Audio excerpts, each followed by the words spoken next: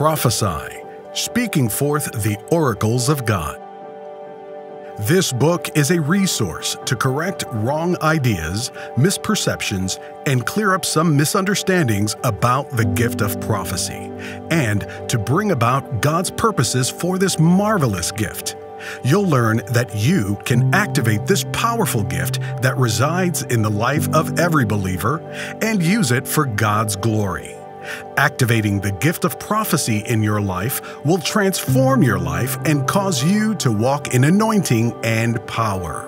Prophesy.